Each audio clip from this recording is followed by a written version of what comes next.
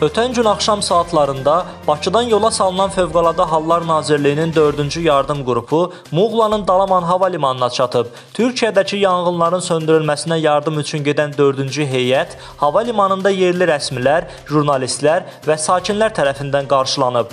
Qeyd edək ki, 4-cü yanğın xilasetmə qrupuna 200 nəfər daxildir. Onlar sabahdan etibarən yanğınların söndürülməsinə başlayacaq.